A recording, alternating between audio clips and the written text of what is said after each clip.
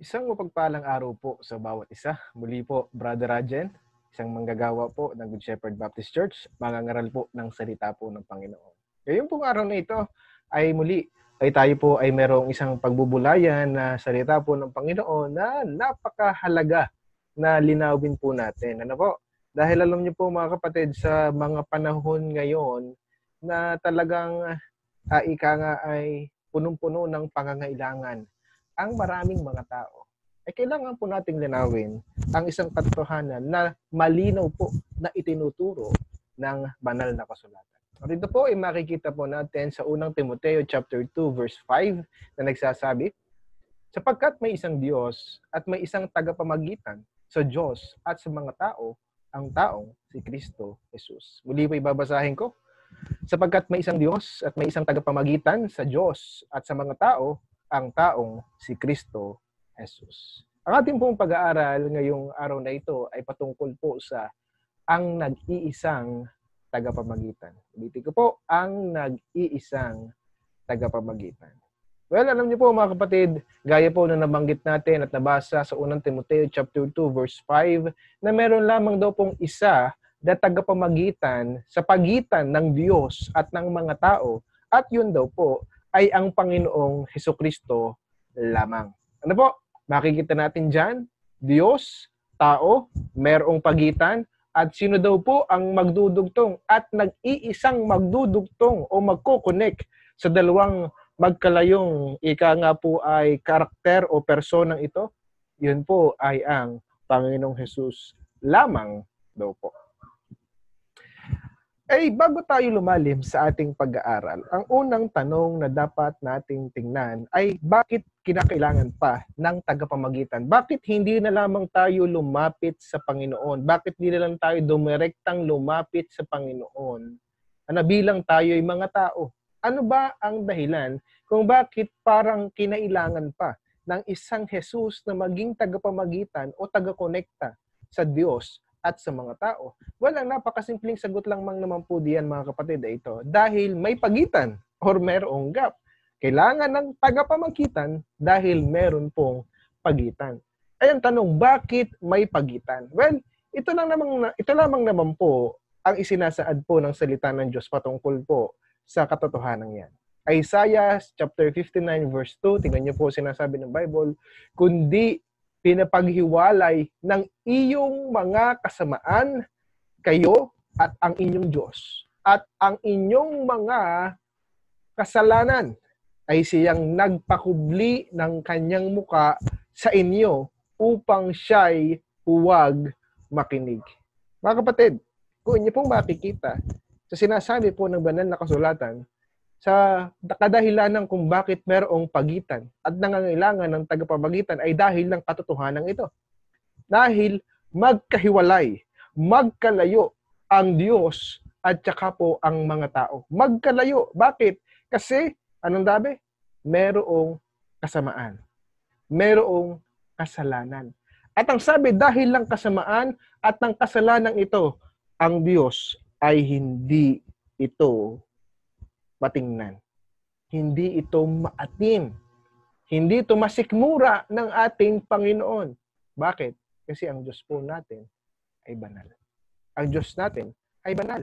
Ano po? Tingnan niyo po ang sabi ng mga awit chapter 4 verse 5 sapagkat ikaw ay hindi isang Diyos na may kaluguran sa kasamaan. Ang Diyos po ay hindi daw po nalulugod, hindi daw po natutuwa, hindi nasisiyaan sa kasamaan. At ang sabi pa dito, ang masama ay hindi tatahang kasama mo. Ang masama ay hindi tatahang kasama ng ating Panginoon. Ang hambog ay hindi tatayo sa iyong paningin, iyong kinapopuotan ang lahat ng mga gagawa ng kalikuan. Napakalino po mga minamahal sa mga talataan. Ilang talataan pa lamang po ito ng Biblia na nagsasabi na ang Diyos po ay hindi masaya sa kasalanan. Hindi po siya nalulugod. At ang termino ng binanggit pa dito sa verse 4, hindi posible, hindi maaari na ang isang tao makasalanan ay kasamang tatahan ng Diyos sa langit.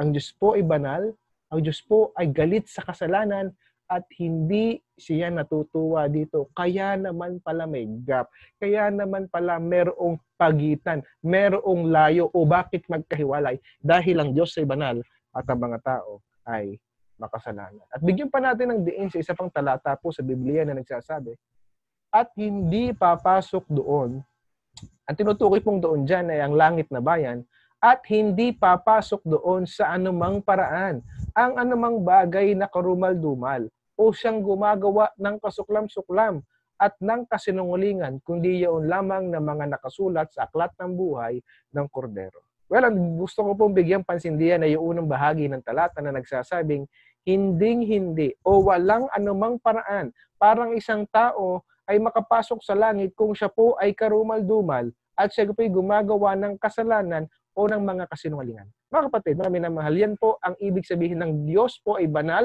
ang langit ay malinis, at hindi maaari ang isang tao, ang isang taong makasalanan, na isang taong nagkakamali, ni kahit po nagsisinungaling man lamang, ay hindi po maaari na makapasok doon at makatahang kasama ng Diyos dahil ang Diyos po, ulit ko at paulit-ulit ko sinasabi, na hindi po alam ng karamihan na ang Diyos po ay banal. Ang ibig sabihin po ng pagiging banal ng Diyos ay hindi lamang po wala siyang kasalanan. Ang ibig sabihin po ng pagiging banal ng Diyos ay siya po ay galit at ayaw sa karumihan at sa kasalanan. Tingnan niyo po ang isang example na, mababa, na makikita rin po natin sa Biblia. Ito po ay ang kwento po ano po, at record ng pangyayari sa mga sa unang sa mga unang tao. Ayun po ay si Eva at saka po si Adan. After po sila ay magkasala, after po nila suwayin ang napakalinaw na utos ng Diyos na huwag kakain ng anumang ibang pagkain, uh, na pwedeng kumain ng anumang pagkain sa sa hardin ng Eden, wag lamang yung prutas ng pagkaalam ng mabuti at masama. Yun lamang, wag yung kakainin yun, pero kinain nila. At sila po ay nagkasala dahil sila, sila po ay sumuway sa Panginoon. Tingnan niyo po, Tingnan niyo po ang naging reaction ng Diyos. Verse, Genesis 3, verse 23 and 24.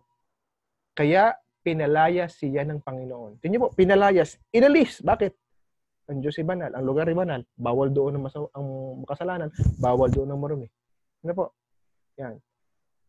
Pinalayas siya ng Panginoon sa halamanan ng Eden upang kanyang bukirin ang lupaing pinagkunan sa kanya. Verse 24, ano pat itinaboy ang lalaki, talagang pinalayas, talagang tinaboy at inilagay sa silanganan ng halamanan ng Eden at ang mga kerubin at ang isang nagni ah, at ang isang nagniningas na tabak na umiikot upang ingatan ang daang patungo sa kahoy ng buhay. Pansinin niyo po mga kapatid, hindi lamang po basta pinalayas. Hindi lamang po basta pinaalis at pinalayo ang taong makasalanan. Talagang binigyan pa ng Panginoon ng isang harang upang ang tao ay hindi makalapit Ganito po kaseryoso ang Diyos sa sinasabing kasalanan. At ganito po katindi ang ibig sabihin ng kabanalan ng ating pong Panginoon. Yan po mga minamahal ang kailangan nating maintindihan. Kaya pala may gap, kaya pala may pagitan, at kung bakit mahalaga na ating, ating, ating bigyang napakatinding halaga ang sinasabi ng Bible na nag-iisang tagapamagitan. Ito po ang sitwasyon mga kapatid. Ang Diyos po ay banal at ang tao ay makasalanan. Nunod ko, ang Diyos ay banal at ang mga tao ay makasalanan. Alam na po naman natin na tayo po mga tao ay may kasalanan. Alam po natin na tayo po yung mga nagkakamali. Kilala po natin ang ating mga sarili sa isip, sa salita, at saka po sa gawa. Pansinin po ninyo mga kapatid, ang katotohanan ito. Supposed to be, originally, meron po siyang direktang linya sa Panginoon. Sila po ay magandang relationship ng Panginoon mula po kay Eva at saka kay Adan. Pero nagsimula nang siya'y sumuway, ang nangyari po, ito po ay naputol at hindi na po basta-basta ito maayos muli. Hindi basta maayos ito dahil ng kasalanan ng tao at ng kabanalan ng ating pong Panginoon.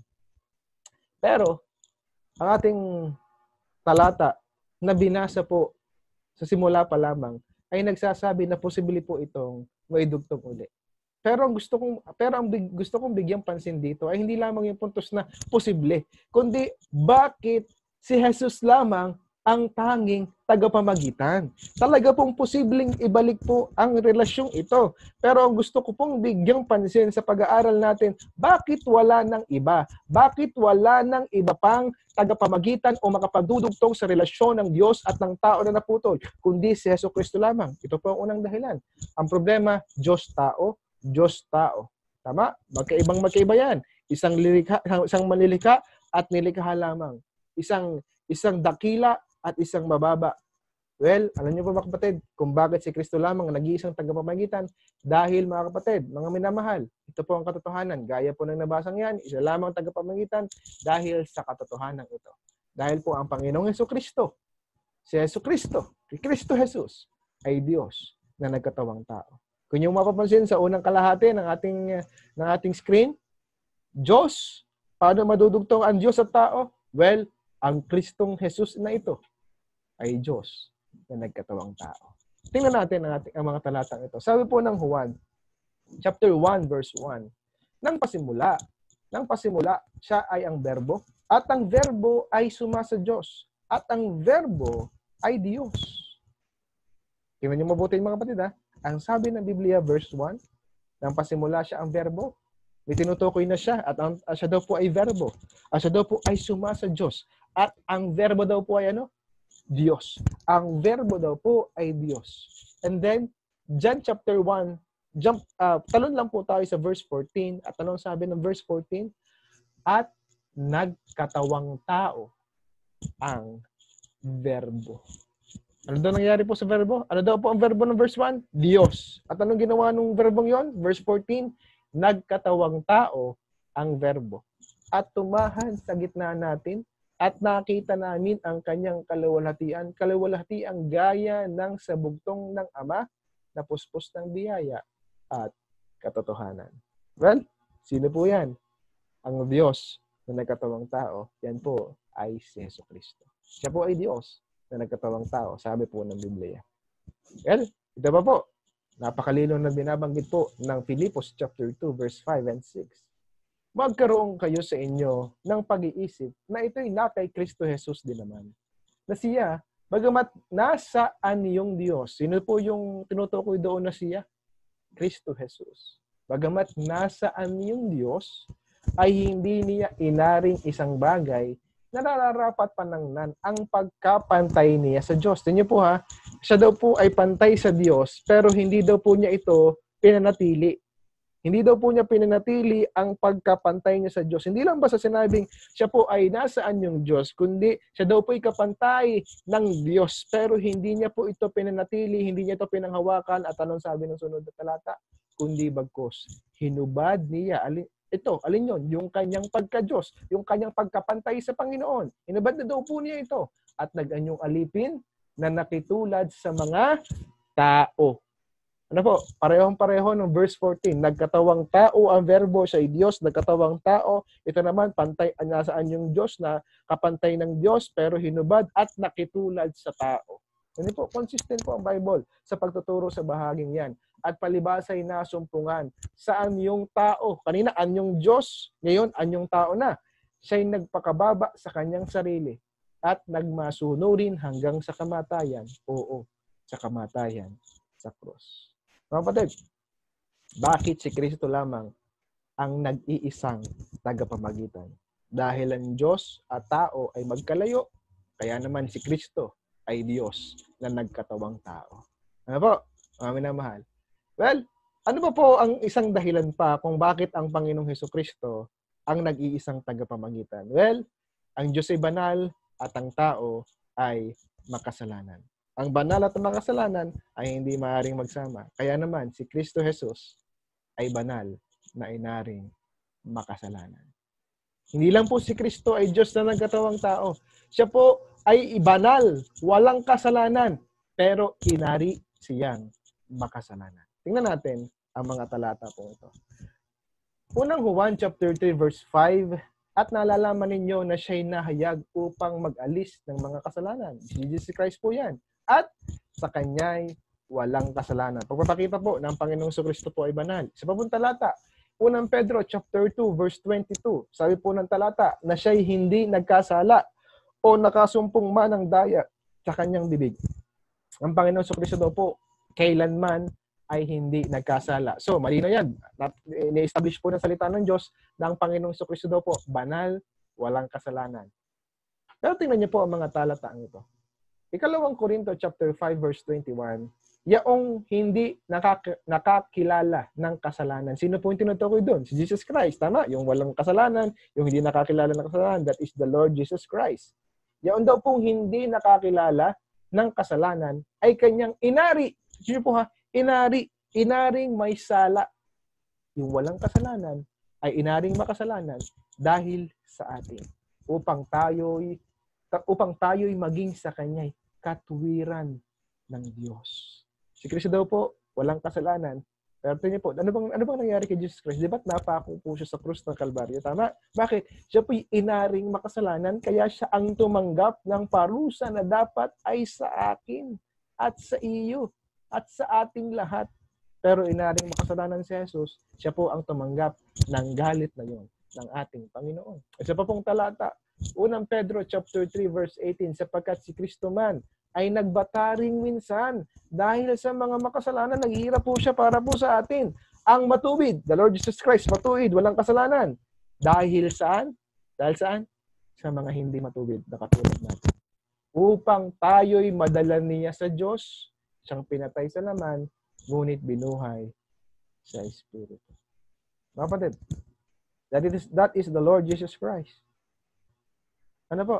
That is the Lord Jesus Christ. Si Kristo, Jesus, ay Diyos na nagkatawang tao. Dahil ang Diyos ay malayo sa tao, mga kapatid, kinailangang magkatawang tao ng Diyos na ito. At ang Diyos ay banal, at ang tayo ay makasalanan. Paano ito makukonect? Paano ito mapagkakabit uli? Kinakailangan na ang banal na Kristo ay ariing makasalanan at tumanggap ng parusa na nararapat ay sa ating lahat. Yun po mga kapatid, ang itinuturo ng Biblia kung bakit sinasabi natin at nililinaw na ang tanging paraan at ang tanging tagapamagitan, inuulit ko, tangi at nag-iisang tagapamagitan ay si Kristo Jesus lamang. Na hindi lamang po niya tinanggal ang gap sa pagitan ng Diyos na banal at ng taong makasalanan, kundi pinapagtibay pa niya ito at pag pinagdugtong niya ito, kailanman ay hindi na po ito mapuputol pa. Hindi, hindi na mapuputol pa. Dahil si Kristo lamang ang nag-iisang tagapapagitan, isang realization po mga kapatid. Dahil si Kristo lamang ang nag-iisang tagapamagitan, kaya hindi Makinig po kayo mabuti. Isa pong aral ito ng Biblia. Kaya hindi na natin kailangang manalangin kay Maria o sa kahit sino mang apostol o santo. Hindi po natin kailangang lumapit sa iba pa pag tayo po ay kailangang manalangin sa Diyos. Hindi na po.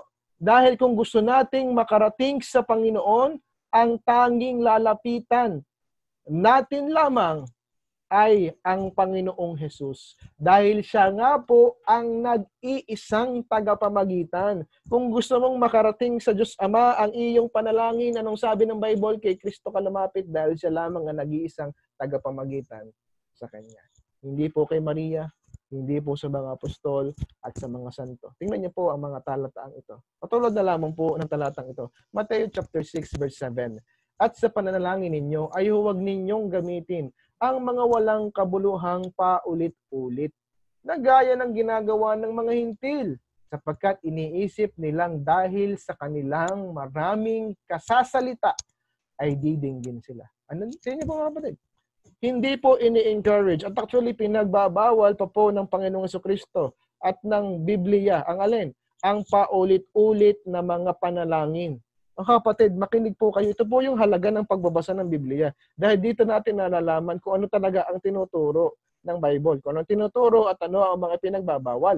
Hindi daw po dapat kung tayo manalangin ay mga walang kabuluhang pa ulit-ulit na lamang na hindi naman natin talaga na isa sa puso at sabi lang ng sabi ng salita dahil sa ulo na. At kina Maria pa nga nakafocus yun at sa mga santo. At hindi po natin dapat ginagawa yon dahil hindi po yun ang turo ng Biblia, mga kapatid. Hindi. Sabi po kasi ng John chapter 16, verse 23 and 24, at sa araw na iyon ay hindi kayo magtatanong, magtatanong sa akin ng anumang tanong, katotohanan, katotohanan sinasabi ko sa inyo, kung kayo hihingi ng anuman sa Ama, o ha, kung tayo daw pa hihingi, nanalangin sa Ama, ay ibibigay niya sa inyo sa aking pangalan. Ang nagsasalita din ang Panginoong Kristo. Opo, hanggang ngayon wala pa kayong hinihinging anuman sa pangalan ko. Kayo magsihingi at kayo tatanggap upang malubos ang inyong kagalakan. Kaya po pagka nananalangin, ano pong madalas naririnig po ninyo sa mga panalangin namin? Ang narinig po ninyo ganito, Panginoon, salamat po at lahat po ng ito ay dinadalangin namin sa pangalan ng Panginoong Jesus. Bakit sa pangalan lamang ng Panginoong Yesus Kristo namin nilalapit? Dahil yun po ang turo ng Biblia. Yun po ang turo mismo ng ating Panginoon. Na sa Kanya tayo lumapit at sa pangalan natin niya tayo tumawag sa Ama. Kung tayo mananalangin sa Kanya. At isa pang katotohanan na kailangan, kailangan ninyong maintindihan. Hindi lamang po sa puntos ng pananalangin sa Panginoon. Kung si Kristo lamang po ang nag-iisang tagapamagitan, dapat, mga kapatid, wala nang iba pang paraan at daan upang makamit natin ang buhay na walang hanggan. Wala na pong iba. Wala nang iba dapat tayong iniisip na daan patungo sa langit, sa buhay na walang hanggan, kundi ang Panginoong Kristo lamang. Dahil siya nga lang po ang nagtungdo, nagtugtong ng langit, ah, ng, ang Diyos na nasa langit at ng mga taong nasa lupa ng mga makasalanan. Sila lang daw po ang tagapamagitan, si Kristo at si Kristo lamang. Hindi po sa pamamagitan ng pagsali sa relihiyon ang makakamit ang buhay na walang hanggan. Hindi rin po sa pagsunod sa sampung utos o pagiging mabuting tao ang paraan dahil hindi po natin kaya, hindi natin kaya maging tagapamagitan. Hindi kaya ng church na maging tagapamagitan. Si Kristo lamang po ang nag-iisang tagapamagitan sa Diyos at saka po sa tao. Tingnan niyo po ang mga talataang ito. 1 chapter 14 verse 6. Sinasabi, sa, ah, sinabi sa kanya ni Jesus, Ako ang daan may daan pa daw po ba? Wala na. Ako ang daan, ang katotohanan at ang buhay. Sino man ay hindi makaparoroon sa Ama kundi sa pamamagitan ko, wala nang makakapunta pa sa Ama kundi sa pamamagitan lamang ng ating Panginoong Kristo mismo. Sa bibig po niya lumabas ang mga salitang iyan. Sabi po ng mga gawa, chapter 4, verse 12, sa kanino mang iba ay walang kaligtasan sapagkat walang ibang pangalan sa silong ng langit na ibinigay sa mga tao na sukat nating ikaligtas. Wala nang ibang pangalan, wala nang ibang daan, wala nang ibang paraan patungo sa kaligtasan sa impyerno at patungo sa langit na bayan kundi ang pangalang Heso Kristo lamang. At yan po ang itinuturo ng banal na kasulatan, mga minamahal kong mga kapatid. Mga kapatid, ang Diyos ay banal at ang tayo makasalanan. Kaya naman, si Kristo Jesus ay Diyos na nagkatawang tao at si Kristo Jesus ay banal na inaring makasalanan. Yan lang yan po ang dalawa sa dahilan kung bakit si Kristo ang nag-iisang tagapamagitan. Kaya sana po mga kapatid, kung iyong naintindihan ang mensaheng ito, kung iyong naunawaan na wala ng ibang daan, wala ng ibang paraan, at wala ng ibang kailangan pang tawagan at lapitan para magkaroon ng buhay na walang hanggan. Sana sa mga oras na ito, sa mga oras na ito, tanggapin mo ang Panginoon bilang iyong Panginoon na tagapagligtas. Ano po? Dahil siya lamang at siya lamang ang tanging pag-asa mo upang makamit mo ang buhay na walang hanggan. Muli, salamat po sa bawat isa. At tawa, kayo po ay hindi lamang natuto, kundi kayo po ay napagpala ng salita po ng Panginoon. Purihin po ang kanyang dakilang pangalan.